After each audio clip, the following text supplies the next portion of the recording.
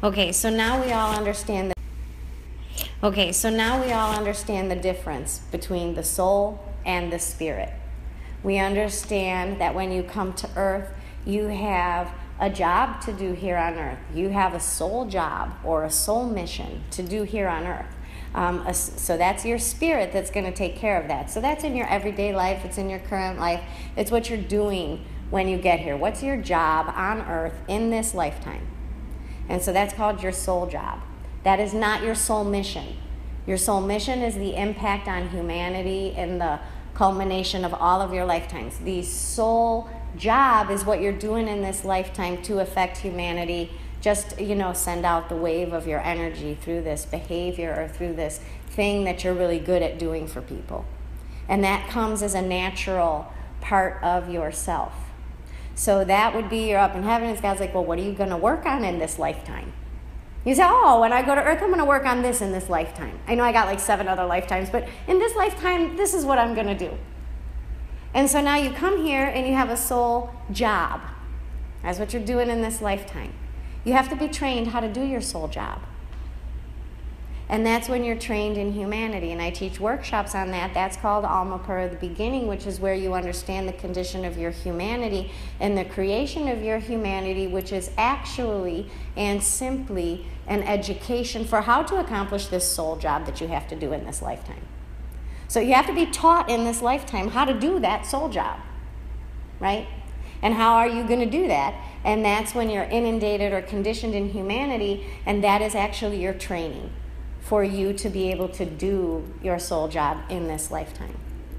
Now, with your soul job in this lifetime, that means that you are a trinity because according to Genesis 26, we are a trinity. In Genesis 26, it says we are created in the image of God. That means that in order to understand ourselves, we really got to understand what is the Trinity. So that is a spirit self, which is connected to the Father God. That is a human self, which is connected to the man Jesus Christ. And there is a healing self that is connected to the Holy Spirit. If we're created in that image, we have all three of those parts. Now, the Bible isn't the only place that it says that. Because it also says, Sigmund Freud says, we're the, the ego and the superego. And all psychologists will tell you that we are analytical, physical, and emotional. And spiritual people tell you we are mind, body, and soul. You can't get away from the trinity that you are. So, in the spirit part of you, that would be your higher self or your spirit self, a division of your soul, a piece of cheesecake.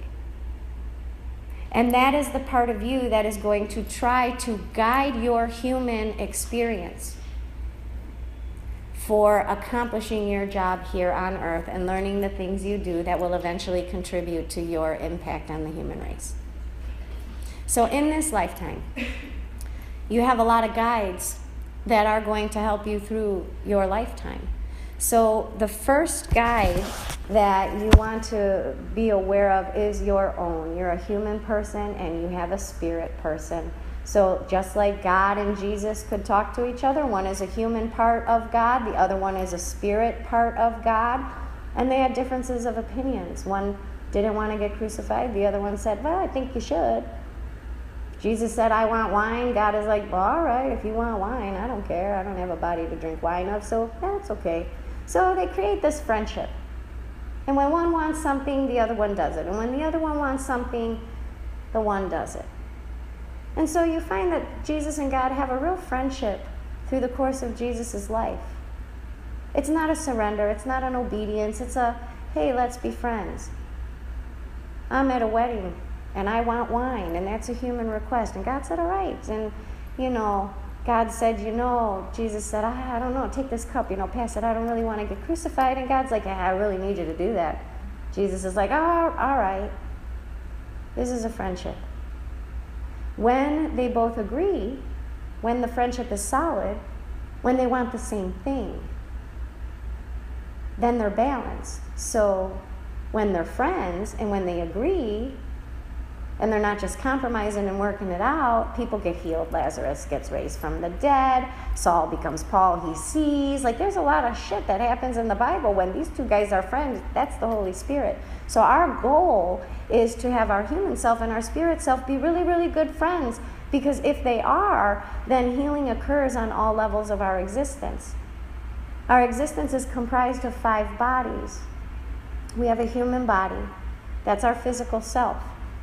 We have a mental body. That is the next body that extends from the human body. From there, we have an emotional body. From there, we have a transition body, which my belief is this is the tunnel of light everybody thinks they go through at the moment of death. It's not. It's a shedding of the physical part of you, of the human part of you, which is comprised in the first three bodies physical, mental, emotional. And then you have your soul body and your spirit body. So information flows from there to here, and from here, there. So, in this incarnation, we are going to have different guides. So, for our human self, our very first guide is our own higher self. That is our spirit self. Think about this. Any guide that you connect with there, any guide that enters this dimension to, to speak with you, connect with you, guide you, love you, encourage you, um, what are they really talking to? Because they don't have a body either. So they don't have a body in physical form that is talking to your physical form body or your physical brain or all the knowledge that you per- perceived here on earth. They're talking to another part of you. They are talking to the spirit part of you. They're not talking to your humanity. Okay? So your very best friend is your spirit because your spirit is talking to them and they're talking to your spirit. So your spirit is the one that's getting all the information, and your spirit is the one talking to all these guides, angels, ascended masters, friends, and relatives in heaven. That's your spirit's job. Your spirit is taking care of that. If you're friends with your spirit, she'll tell you whatever you want to know. So, your principle, your very first point of entry into that part of your existence is to be friends with your spirit by recognizing and coming to my workshops and recognizing your conditioning of humanity so it's not a limitation to the way that you translate your soul information because those are two different logics. So that's your first one. The second types now, we have a lot of spirit guides. Um, first of all, we have principal spirit guide, guardian angel people, is what I call them. These are traditionally your friends and relatives in heaven um, that will be connected to your spirit for this incarnation, this incarnation, this lifetime. That's what they're here for. So that would be the divine guide. Now, the reason, and they always stand, from my interpretation, on this side of you. So your principal guide will be here, your principal here, your principal here, and your principal here. So everybody has their principal spirit guide and guardian angel. Mine is my grandmother. So now the way that that works is my grandmother and my spirit, my grandma's soul and my soul, they have a talk and they decide what I should do. Now, if I'm friends with my spirit, she's going to tell me the talk that she had. So I'm laying on the couch and I'm watching TV, and my brain is totally focused on the TV show. That's all I'm thinking about is my TV show when all of a sudden, do your laundry pops in your head. And I say, oh, no, I'll just do it tomorrow. Tomorrow I wake up, I wish I would have done my laundry. I regret not listening to myself. I remember telling myself. What self am I talking about? Because myself was watching TV. So that means another part of me interrupted my brain when my human thought was on something human and I got a message to do my laundry and I ignored it. Now, what that is, is that they know I need that pair of pants tomorrow, but I don't, and I'm not thinking about it because I'm watching TV, but that's my spirit and my grandma. So I basically just told my spirit and my grandma, so sorry I'm not listening to you, but tomorrow I'm totally going to regret not listening to you because the part of me, if I'm friends with my soul, I can hear her in my brain. That's my inner voice. I can hear that. So if I listen to it, I'm prepared. Life is awesome. That's my first guide. That's the part of me that's going to tell me don't get on that plane. Stop eating that pizza. Make a left. Don't leave the house yet. Call in sick today. That's the part of me that's going to keep me safe. It's the part of me that is going to create time management for me in my day. Procrastination, when you are friends with your spirit, is the very best thing you can obtain in life because you can have a list of a thousand things to do, but you don't have to do nothing until your spirit tells you to. And if you don't know what to do because your mind, your human mind is in a thousand places, here's what I do. I say, What should I work on next? Then I sit down. And it always comes. And I know what to do next. And if I listen to what just comes to me, then I have enough time to do everything I really need to accomplish. And it includes quality time with your children, with your spouses, your friends, your relatives. It includes time for you. So I learned this about, oh, 20 years ago. And every time I'm going to talk about something, I have a refresh of like, you know, because we live every day, we get inundated in our lives. And so I was making way too much of a plan for about the last four or five months, and it clicked with me today. I'm like, oh, that's because I needed a refresh of what I know from my soul to listen. First guide. That's the guide that will translate everything for you. So when you activate that friendship with your soul in every one of your chakras, you can hear her in every single chakra. You can interpret the vibration from your own spirit. That is a language that is like learning a second language. So I speak Spanish and I speak English. English was my first language because my mom is American and my dad didn't want to speak Spanish in the house. But I always wanted to learn it. So I spent a lot of time as a little girl with my grandparents, and they taught me how to learn Spanish. And so as my grandfather was teaching me like different words like collar and uh, baño and carne and different words, I would try to memorize these words. Well, that started when I was six years old. And I didn't truly become fluent in Spanish until I was 17. There was always a translation happening in my mind.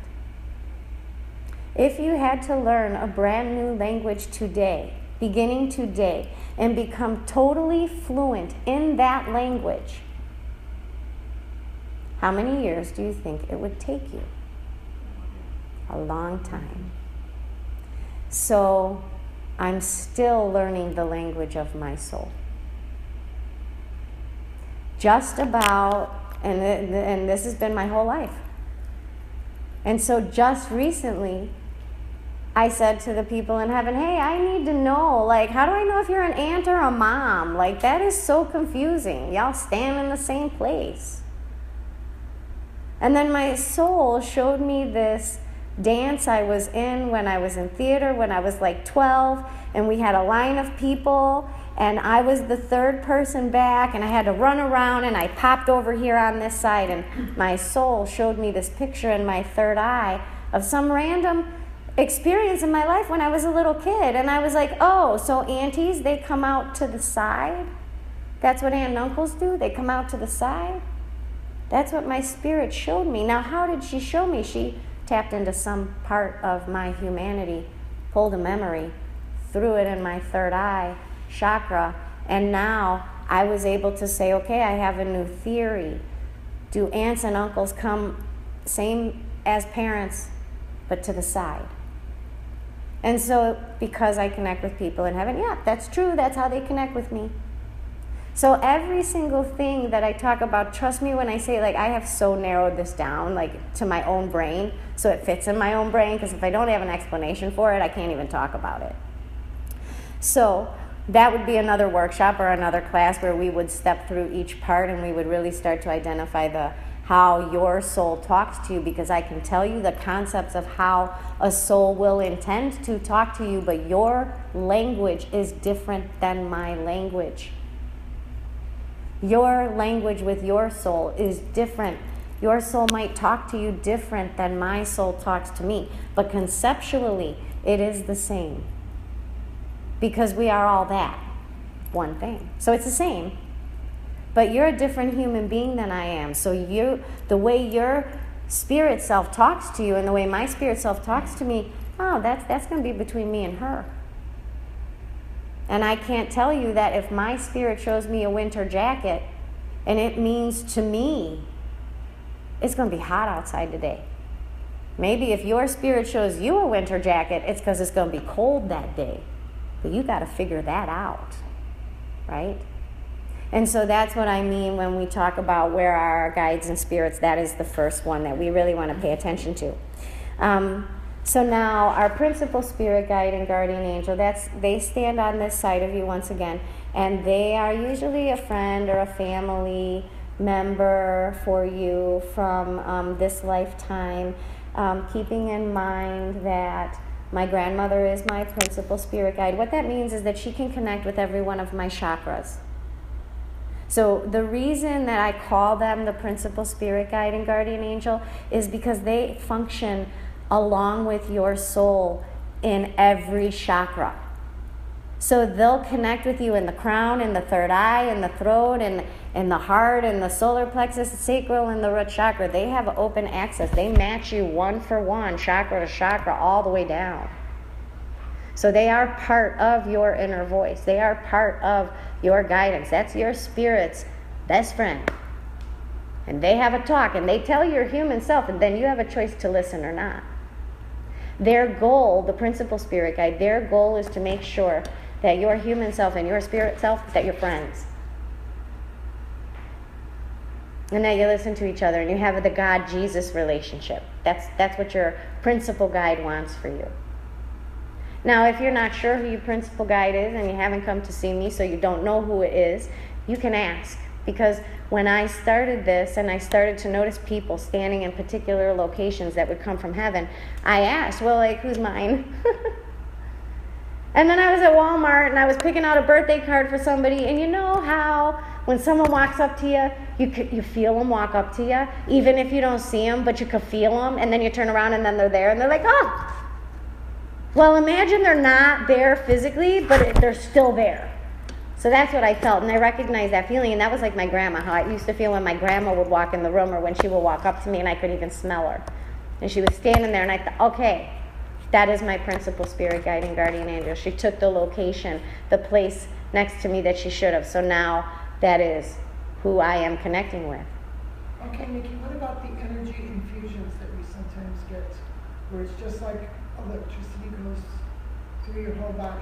Where you'll develop like chills or goosebumps yeah, or something. Yeah. That is traditionally from your soul as a confirmation, a positive response pay attention to what you're you're you're hearing. When the kids were little, I used to tell them like when they were really little, like, look, if you're in school, if you're with a friend, if you're with a friend's parents, if you're out watching TV, and when you hear information, when when you're learning things or people are talking to you, if you get the goosebumps, the chills, or your hair stand up on end, that means your soul wants you to pay attention right now to whatever it is you're experiencing because this is important and it is true, and you need to pay attention and it's a confirmation for you. So that is how our soul, when there's a, a, direct alignment with whatever information or situation that you're in, when that can happen, pay attention. You might be driving in the car and there might be a song on the radio and there's one part of the lyrics or the chorus that you get the chills. That means your soul wants you to pay attention to that. Review it, think about it. Why is your soul pointing it out to you? Why is it a positive, a confirmation for you? So that's what that means. Um, now, the next thing that we talk about is our intuitive spirit guide. Um, our intuitive spirit guide stands up above us.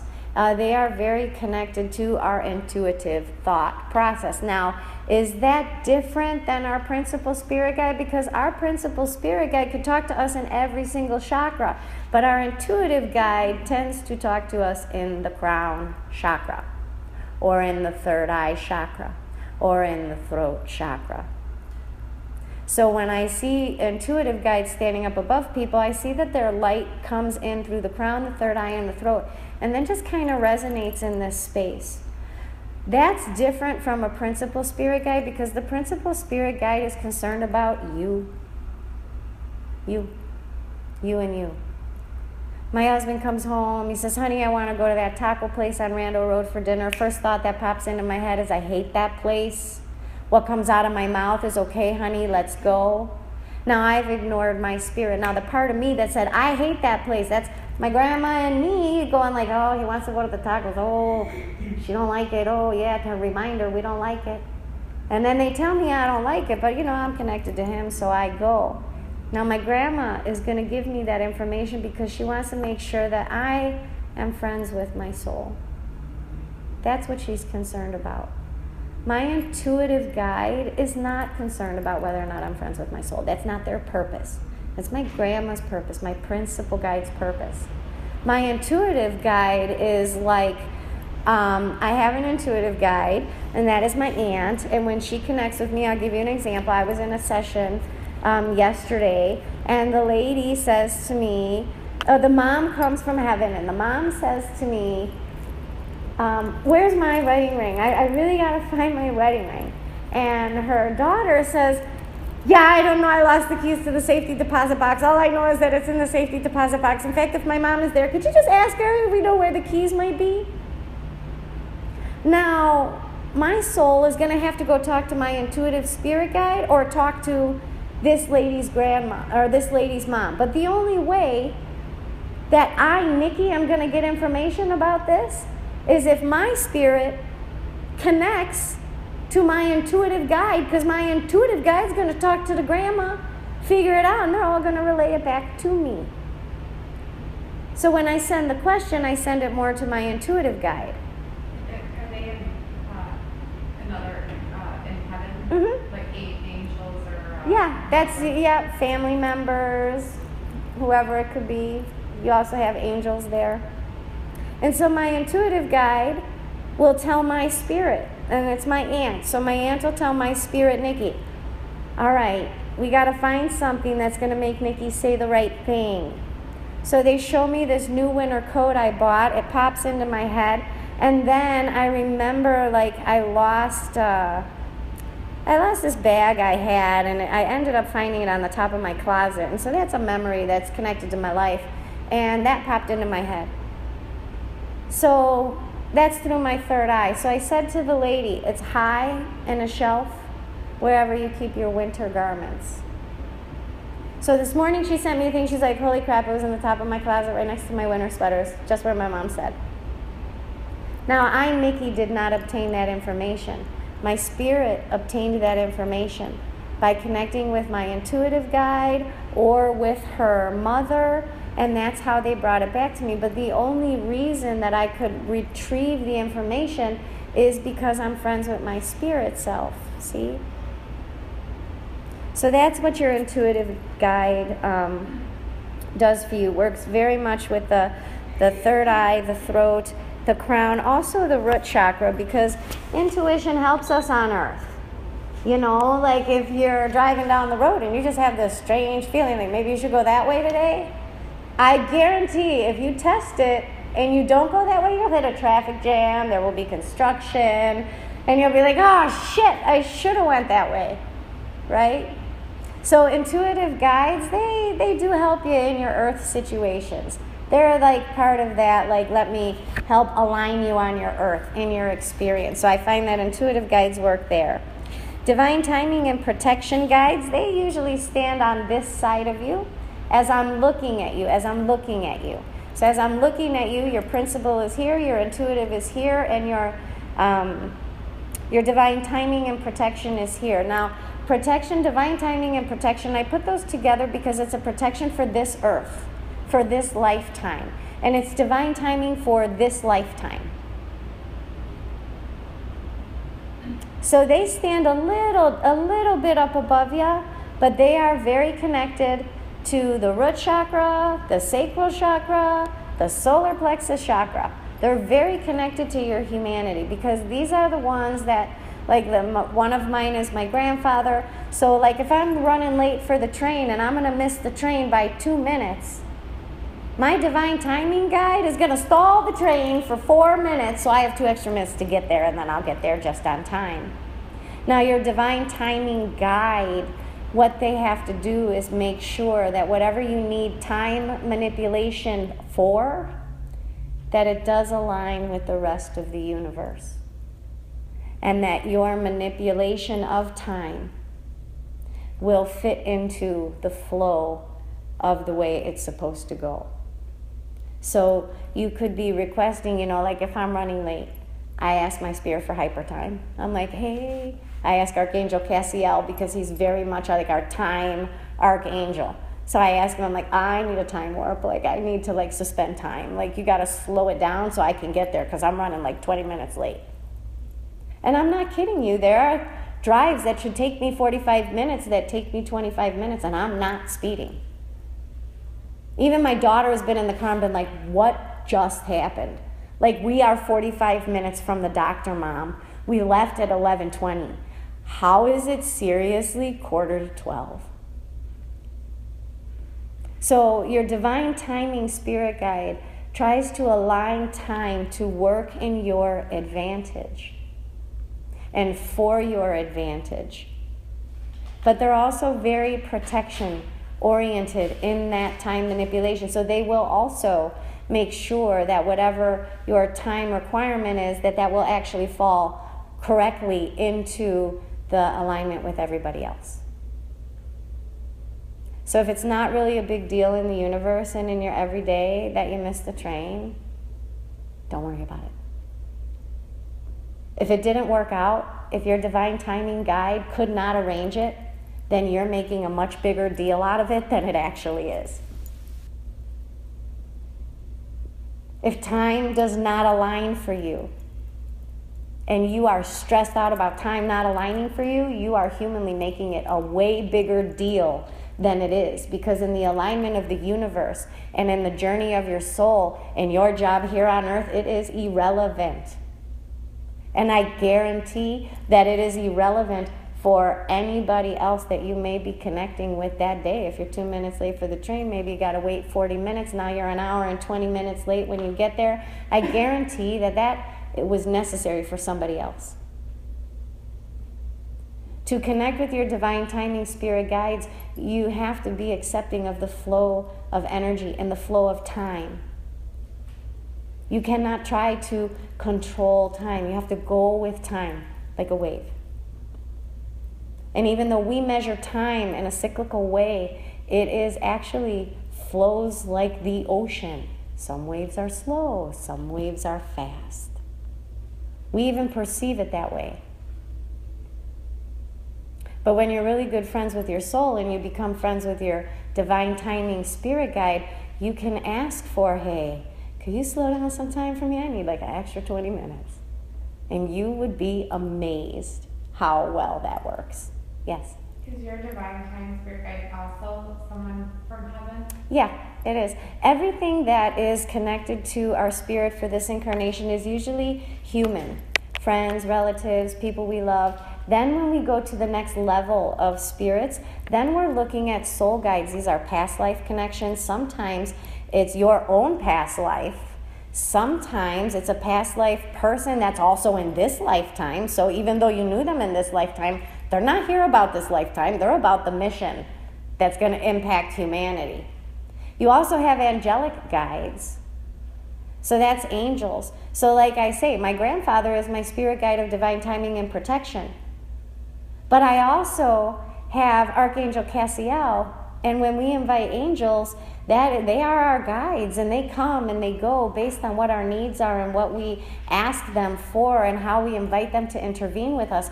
So I'm just giving you like the one level, which is Uh, humanly for our everyday life. Like who's helping us get to the mall on time and find a parking spot you know number three parking spot on christmas eve? Like who's helping us do that? That's my grandpa right? But maybe if I need to get to the hospital and I really need to slow down time because my friend is there and I, I want to make sure that I get there, I might say, hey, Grandpa, and Archangel Cassiel, who's the father of time, who's the Archangel of time, maybe I'm going to be like, hey, I need to get to the hospital. Like, could you guys, like, work some angelic divine intervention here?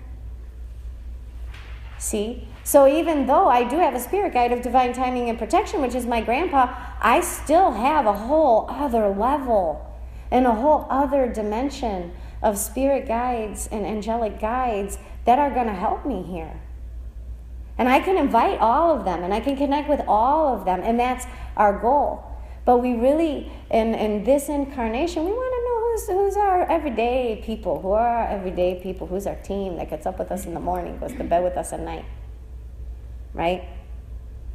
Um, the next one is your karma protection spirit guide. They stand They do very similar things like your divine timing and protection guide, but they don't stand on the side of you, they stand behind you and in front of you.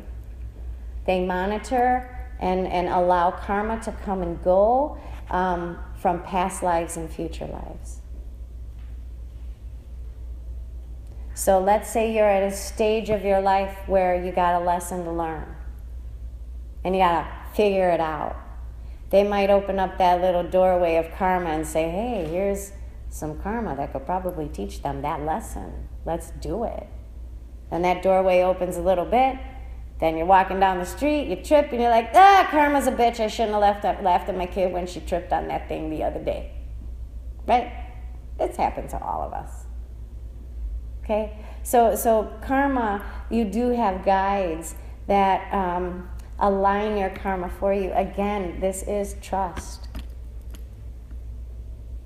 Because karma is not a punishment, it is a growth, it is an awakening, it is an awareness.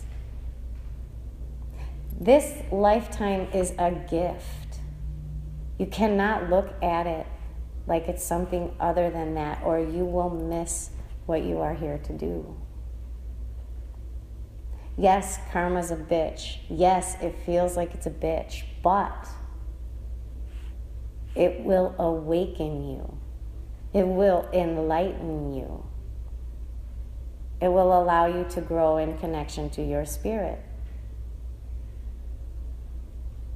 when we have children and we give them something, or we have animals that we love unconditionally, because my animals are like my daughters. So, and I'm not kidding. Like, I called the vet and I was like, I'm calling about my daughter Penny. And it just came out like I didn't mean to say it. And the vet lady was like, Do you mean your dog? I'm like, Yeah, my dog, Penny. She's like, You said daughter. I'm like, No, I didn't. She's like, Yes, you did. And my, my daughter was there and she's like, Yes, you did. You said daughter. Um, so, like, children, pets, unconditional love, that's what I'm looking for. Um, shoot, what was I going to say? Because I forgot. What was I talking about? Oh, when we give to the people that we love and the animals that we love unconditionally, we give it because we love them unconditionally. And if they love what we give, we give them more. Right? Think about your kids. Think about your animals. You give them something, they love it. Oh my God, it makes you feel so good that you could give them this awesome gift and that they totally loved it, whether it was a hug, a pat on the head, a congratulations, whatever it is, you are so thrilled that they love it. God gave us this life. He is so thrilled when we love it. My daughter might get frustrated when she's three, when she's learning how to tie her shoes. But when she learns it, it will awaken her and she will be so proud. So I don't want to look I don't want her to look at the task of tying her shoes like it's some big major freaking ordeal. It's not bad, it's not too hard, it's growth. It's awakening. Everything in our life kind of works like that. So your karma protection person is that is the person that allows those lessons to come in and out only in a way that you can handle it. They're not going to give you more than you can handle. That was already taken care of. Jesus died on the cross. We don't have to do that crucifixion thing here on earth. So, whatever experience we find, it's not crucifixion. We might be perceiving it as such, but then we're not that excited little kid that's so excited to get these gifts of growth and enlightenment. So we want to pay attention to those and really try to embrace them and welcome them and learn from them. The quicker you learn, the faster it stops. We repeat the same lessons until we learn them. Sometimes we don't learn them till we're like 60. You know, like I knew this friend of mine, and he was like this kind of a jerk like his whole life and stuff. And then he turned 65 and he's like the nicest guy, totally mellow. Things that bothered him when he was like 30 totally don't bother him anymore. And like, oh my gosh, he's changed. I'm like, he didn't change, he just exhausted himself. That's all he did. he didn't mellow. We want to be able to do that like way earlier. Right? We want to welcome it. We want to learn it quick. I don't want to put my hand on the stove 20 times and get blisters and burns. If I know it's freaking hot, I'm not going to do that. So, welcome your karma guides. Your emotional spirit guides, these are the spirit guides that are super, super connected to your heart chakra, your sacral chakra, and your solar plexus chakras, and they will infuse a lot of light and energy into the heart chakra. Um, this is a lot of times where you'll recognize that you actually do have a spirit guide of emotional support, and that's usually the people that think they have anxiety. They don't.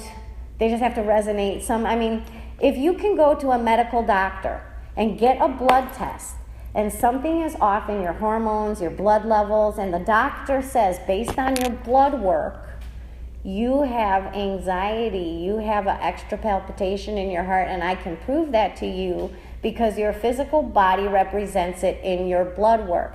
That is a physical thing that creates anxiety. That's in your physical body. It can be proven by a doctor. But when we get to the mental body, when we get to the emotional body, you got to think twice. What if your blood work is fine?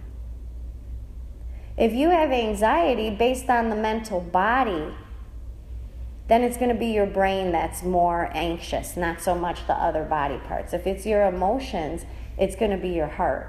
You're going to feel in your chest. Usually, mental body you feel in your belly.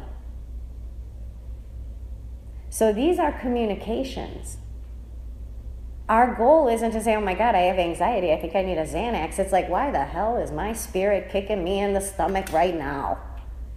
Why is my soul slamming my heart with so much energy that I'm having a mini panic attack here? That's a communication. Because any physiological response can be proven by a doctor, by the adequate and correct tests.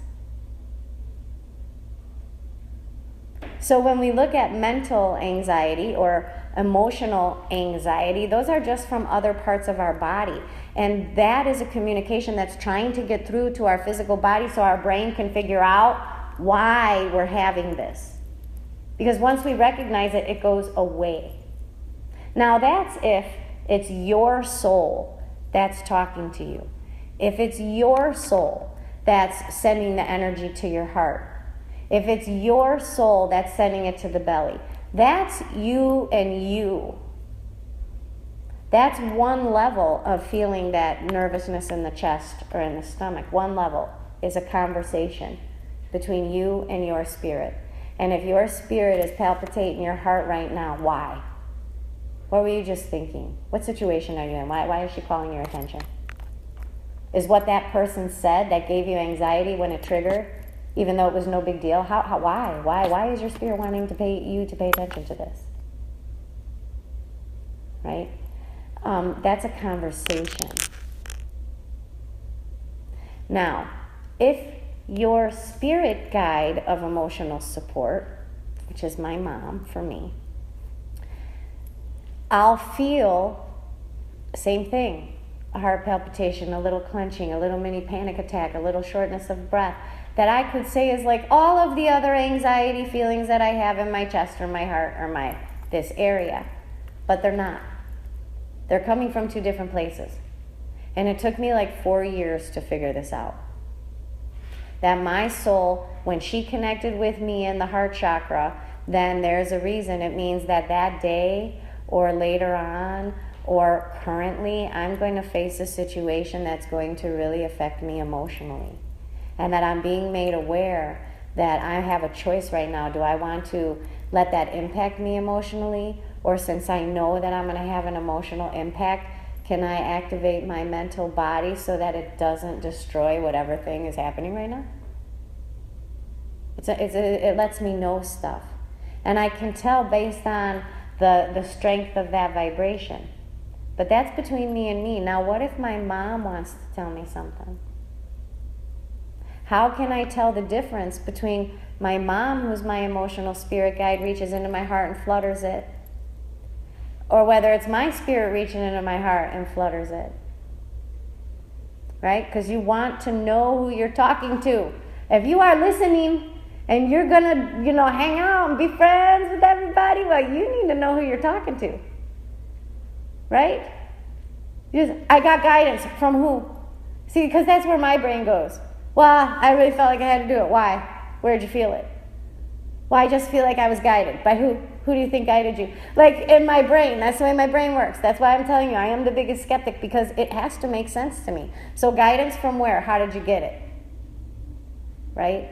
And so, over time, in that connection to recognizing the conditioning of your humanity and becoming friends with your spirit and being able to interpret the ways that your spirit talks to you in all of your chakras, which is learning a new language with yourself.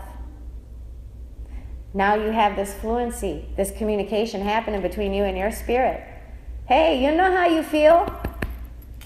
So when your mom or your grandma or somebody else does this, you're going to be like, ooh, that wasn't me. I know what I feel like when I do that to myself, but when my grandma does it, it feels different. When my mom does it, it's different.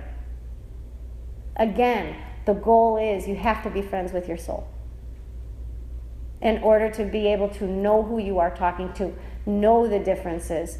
You become one with your whole spirit self where you you start to interpret through all of your points of energy, not just our five senses. So we deal with the world through our five senses. But we deal with our spirit through our chakra system. When our five senses and our chakra system are friends, wow, we just start to know shit about our own life and our own day and our own existence and our own experience. It's, it's awesome. That's living heaven on earth. When we talk about the Trinity or divinity, and there are three of us functioning, you know, and we wonder, well, Jesus was a man and God was a spirit, and oh, that's really awesome, but kind of sounds like one is better than the other. But the idea of divine, divine humanity, not humanity, divine humanity, is having your soul express itself through your humanity, which happens when you're friends automatically. And then you begin to mesh those things together. So I feel like what we're doing today is, oh, there's a lot to learn, right? I know that's overwhelming. First, you got to learn about your chakra system. You got to learn about the conditioning of your humanity. You've got to learn about how your soul talks to your body. You've got to learn about how to connect with people that aren't there. You have to learn to have the difference of interpretation between what your soul is telling you and what everybody else is telling you. How do you differentiate the difference? It sounds like there is so much to learn, but I have got to tell you, you are not learning anything you are remembering. Because you were spirit first, and then you were body. And your spirit is eternal, and your body is mortal.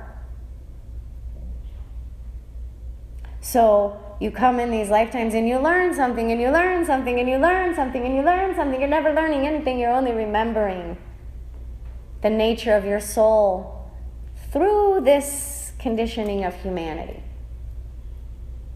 So there's not really a lot to learn. It sounds like it, but it's really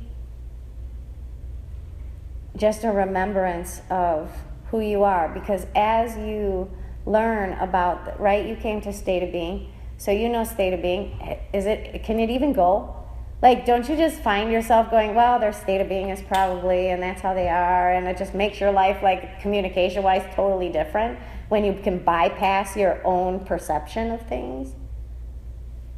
Because our perception is what gets us in trouble.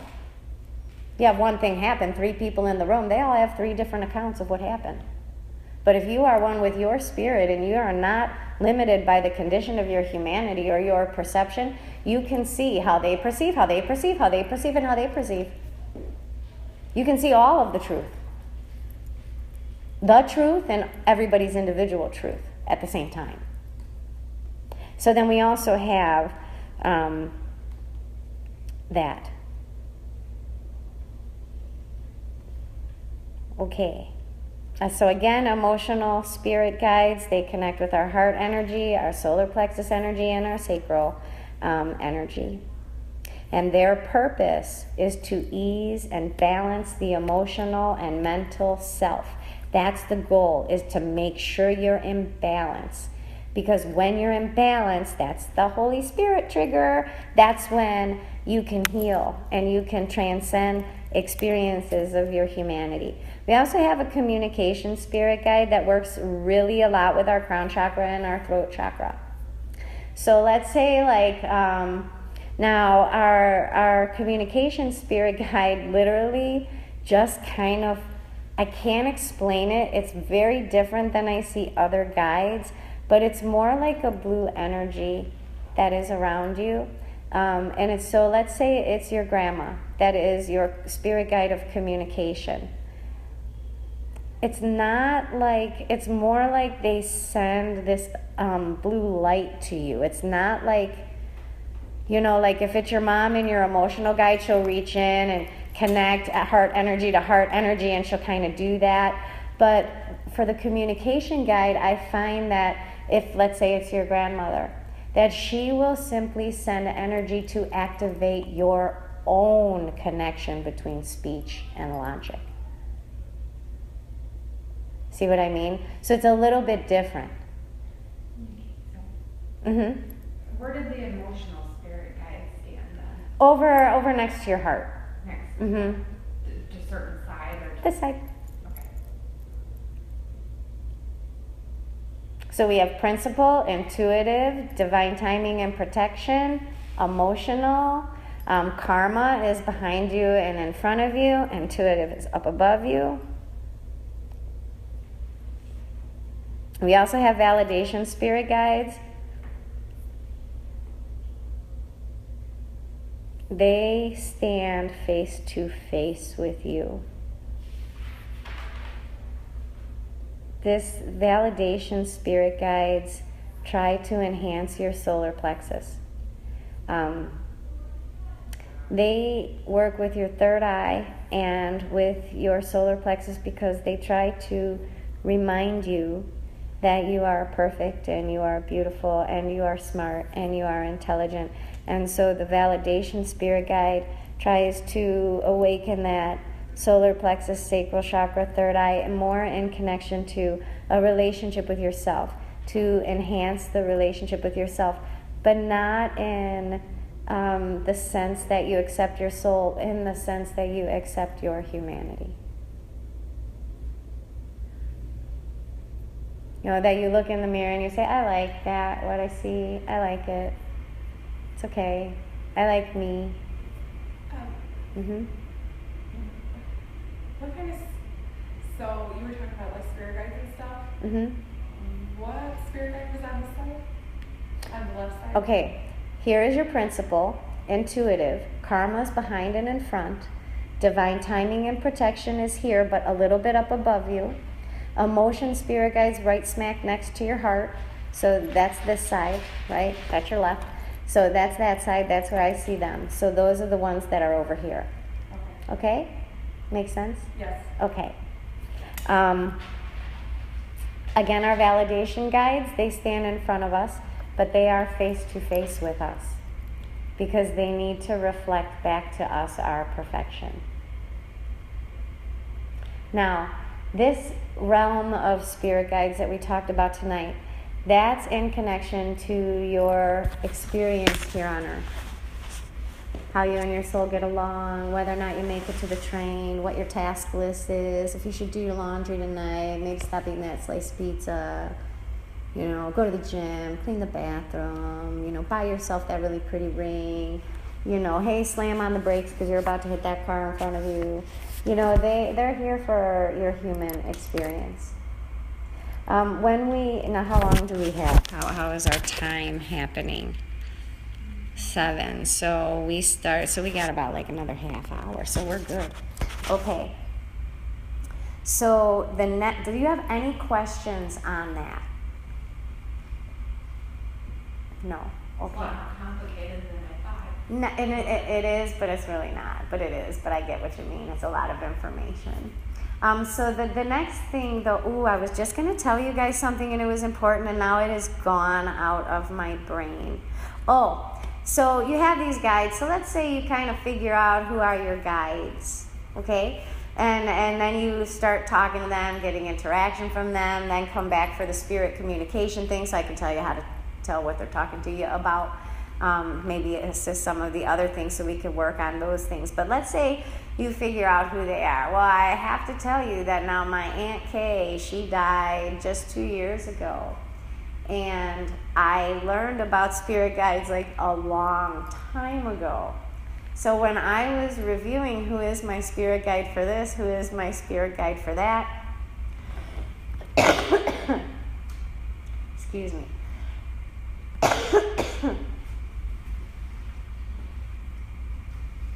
So I was asking who is my spirit guide. My aunt was still alive. And she came to my mind. So a lot of times I get questions. Well, if my grandma or my aunt or my dad is my spirit guide, who was my spirit guide before they died? Right? The same person. Because we are soul and body, we are spirit and we are human. And we have an eternal existence that isn't measured by time, nor by this lifetime. So your soul can dodge out of your body if you are a spirit guide to somebody and you can guide them at the level of your soul connection to their soul, but you could still have a body and be here on earth. So, how do you identify that? Right? You would identify times. You would first have to identify when is your soul inside your body and when it is it not.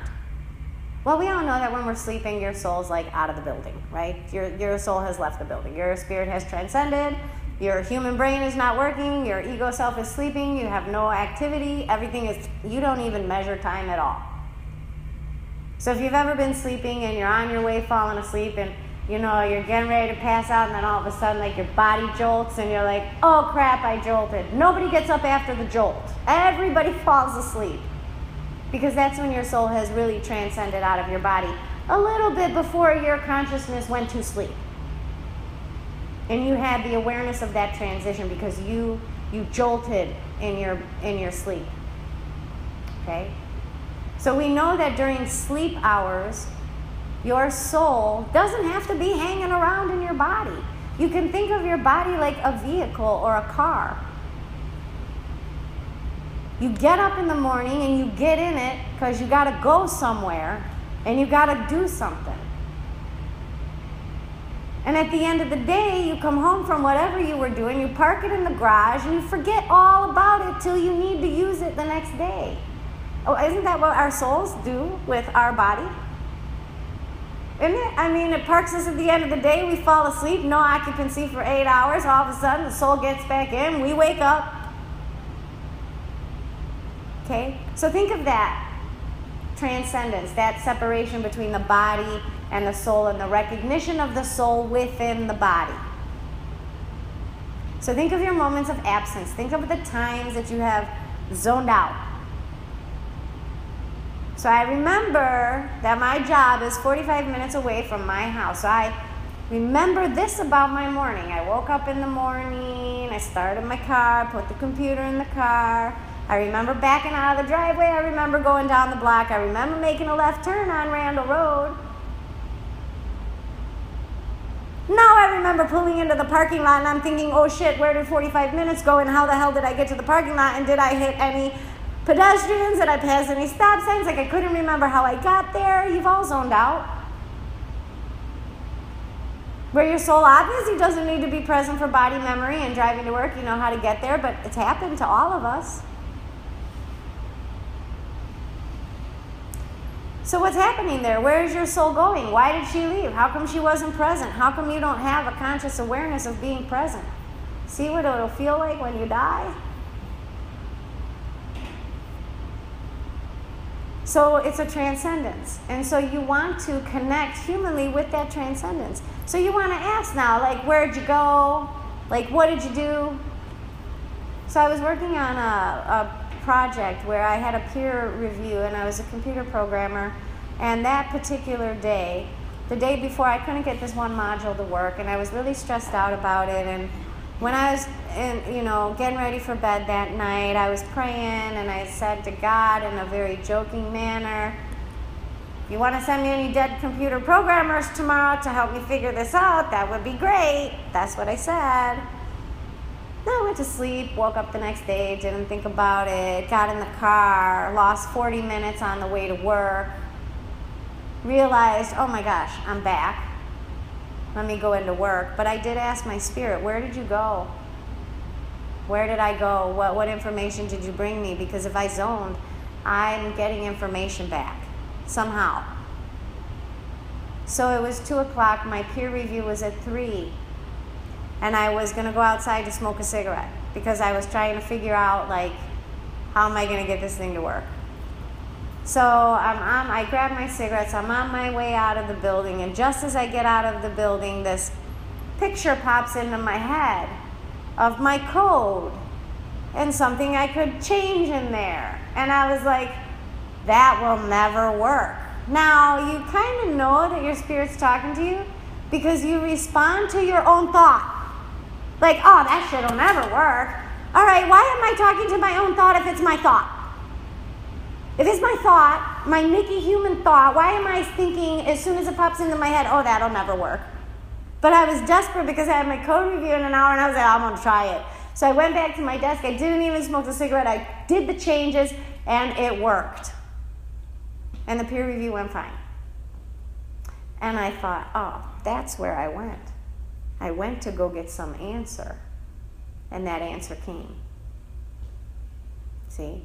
So when you have these moments of absence, you're doing things. You're either going to gather information for yourself for some experience that you need, you're going to get confirmation for something.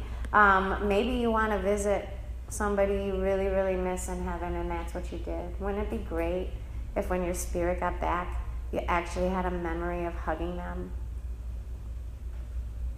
It's awesome of having like, oh my gosh, I just hugged them like two seconds ago. Oh my gosh. And that you have a remembrance of that experience and that connection. Or maybe you are somebody's principal spirit guide or guide of protection or intuition or emotion. And maybe your soul zoned out to go take care of that. So maybe you're watching a TV show or you're reading a book and you realize that you just read a paragraph and a half and you have no recollection of what you read. Do you ever start reading something? You get halfway down the page and you're like, what the, what the hell am I reading? Like, I don't remember the words I read, and you got to go back and skim because you really don't know. Spirits love to zone out when you're reading, unless it is completely captivating and you are totally invested humanly in this thing. And still then, you'll get some interruptions. Spirit likes to talk when the mind is occupied. Because when the mind is occupied, it can't put up a fight to receive the information. But the nature of our humanity says argue. So I saw that picture in my brain of what might work in my code, and I was like, ah, that'll never work. Kind of like when I'm laying on the couch and I'm focused on the TV show, do your laundry. Pops in my head, and I'm like, I'll do it tomorrow. Unfortunately, we are taught to dismiss the voice of our soul, so we don't really listen to it. We listen to it till we're like about four or five.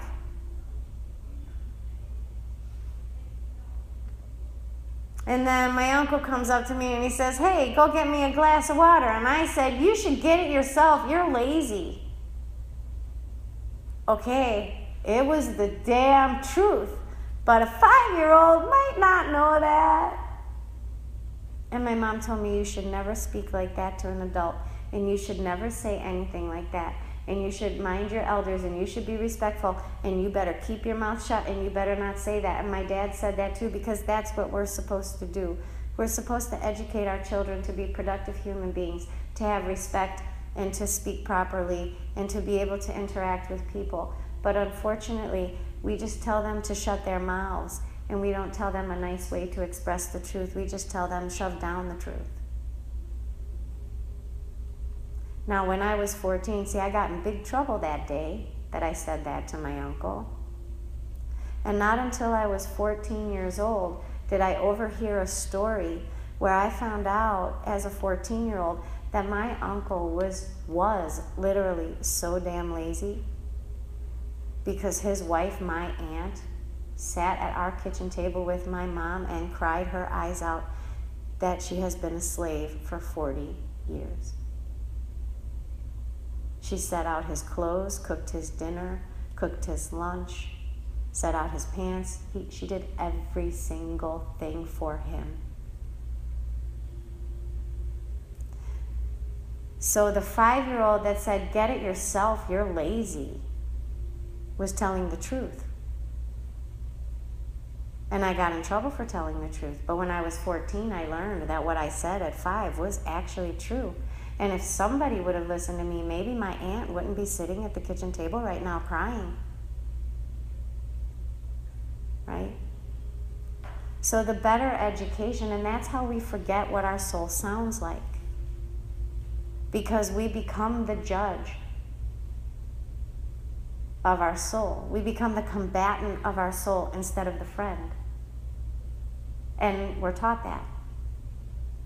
So if we're addressing the soul and the truth, then what do we say to the five year old? Yes, honey, your uncle is very lazy, but that's not the right way to say it. Maybe you could just say something like, Everybody's really tired from working all day. Maybe could you get your own water because my legs hurt too and I'm I've been busy all day.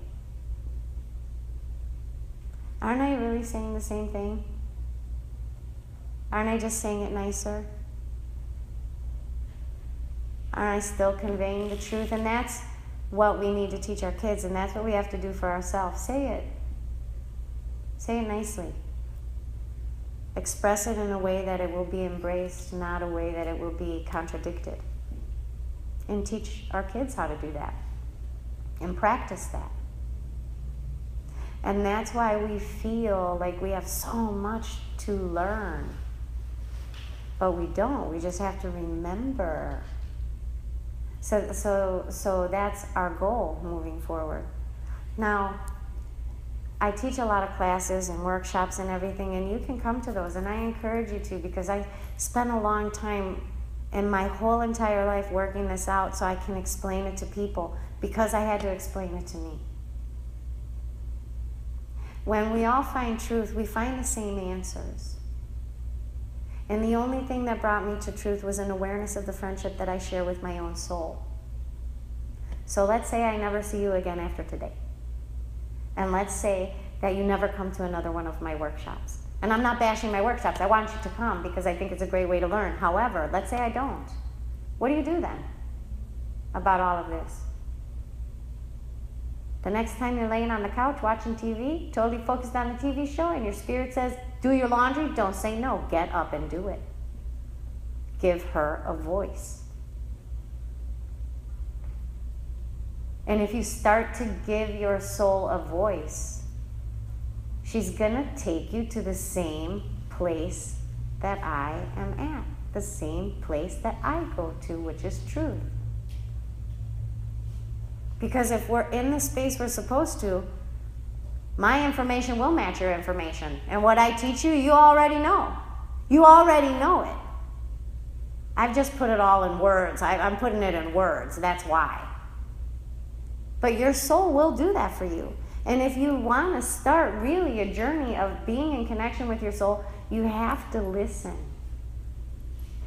And you have to you have to try to follow that guidance because that is the thing that is going to bring you into an awareness of everything else because that's the part of you that's connected to God and your body and the universe and truth and that's the part of you that's connected. So if you can tap into that part of you, you have and will obtain any answer I or anyone else can give you. Because it's, it's all the same. We, sh- we should arrive at the same place. Right? It's true. So, um, you know, like I said, the, the one friend of mine who at 65 he was totally mellow. No, you know what it is? He couldn't control the perception. He just learned that hey, why fight this? I just go with it, it'll be fine. But he could have learned that in my workshop in like two and a half hours, 25 years ago. Do you see what I mean? So it's really however you choose to grow with your spirit. Are you humanly looking to go quick? Do you want to take it slow with your spirit? You have to do what makes you feel comfortable. There are a bazillion books, there are a bazillion workshops, there are a bazillion mystics, there are a bazillion stories in the Bible, there are a bazillion religions, there are a bazillion self help books. But really, to find out what your next step is, that's all you have to do. You could get in the car and start driving and say to your spirit, hey, what should I do next to get closer to you? Within three days, you'll know exactly what you have to do next because for somehow, some rhyme or reason, your spirit will show it to you. Maybe it is come to my workshops. Maybe it's not. Maybe you're guided to the Bible. Maybe you're guided to Wayne Dyer or Oprah Winfrey or who knows where you're guided. But don't, when you're learning these things and when you're connecting in these places with yourself, don't think that, oh, the book said that it should happen this way. Like I should be, uh uh No, no, no, no. Because, like I said, conceptually, yeah. Is there an ability for you to obtain like psychic type of information from your soul? Yeah. Here's conceptually how you do it. But is it going to work the same? Mm-mm. No. It's like you could be friends with me and you could be friends with her and you could be friends with her, but your friendship with me is unique to the friendship you have with her. And how you address her and talk to her and nurture her and how she does to you is going to be unique than the way we do it for each other. Because each relationship is unique. Right? And that's how the one with your own soul works. When we start to think about the next level of guides that go past this um, earthly daily life, that's where we start to look at soul guides. Now, soul guides, they are there for the culmination of all of your lifetimes. They are there for whatever impact you are going to have in humanity um, and on the human race and on the world. So let's say that your grandmother is your principal spirit guide. She wants to make sure you stay friends with yourself. And your divine timing is your grandpa, and he wants to make sure you get that job. Okay. So your grandma, for getting the job, is going to be concerned about and guiding you toward are you happy at this job? Do you feel capable at this job? Do you and you, are you and you going to get along at this job? Where grandpa because she's worried about the friendship between me and myself connected to the job. But my grandpa's going to be like, yeah, you need to take this job because you're going to make like $20,000 more. Right? So he's not worried about how I feel about myself. He's worried about me getting the job because he's my earth guy and then he needs to help me get the job. So they may have different opinions. Maybe the divine timing is like, you can have the job if you want it. You're going to make 20 grand more.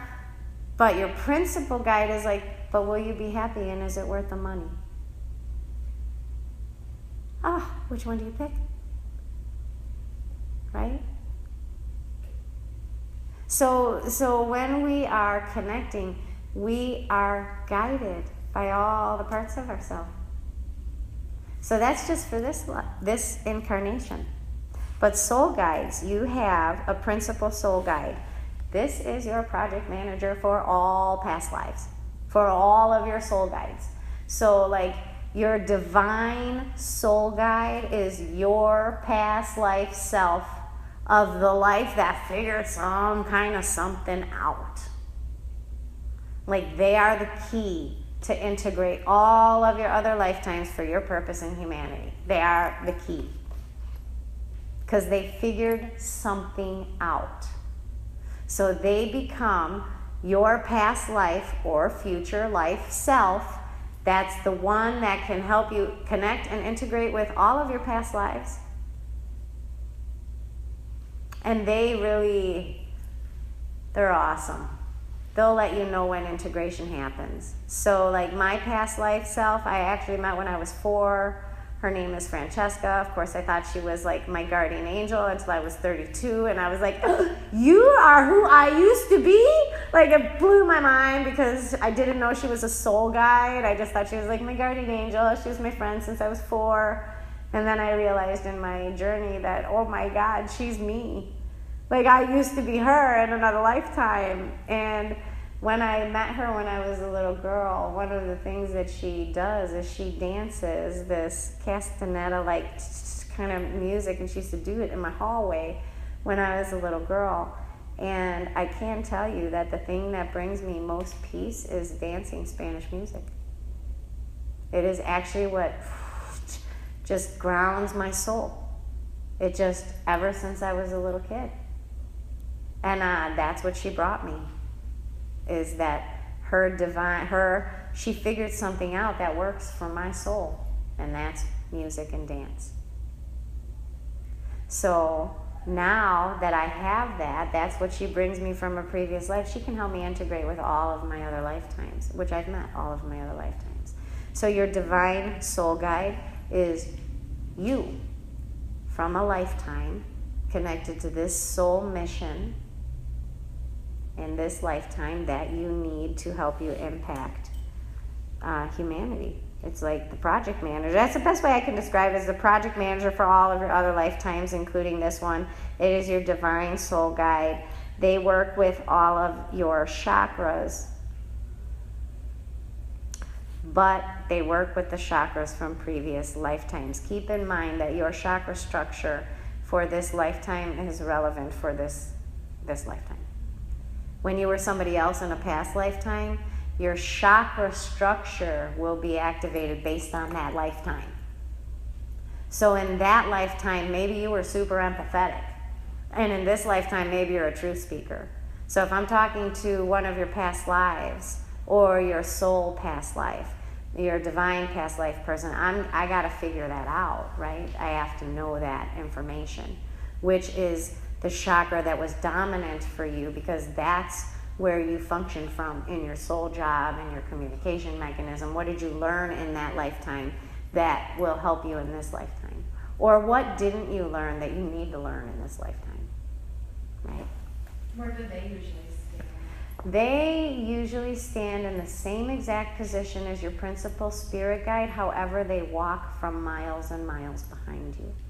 In other words, people that are your guides that are connected to this incarnation they kind of appear at your side when I look at them, when they connect with you. They'll just be there. Soul guides, you can feel them coming, and they walk in from a distance.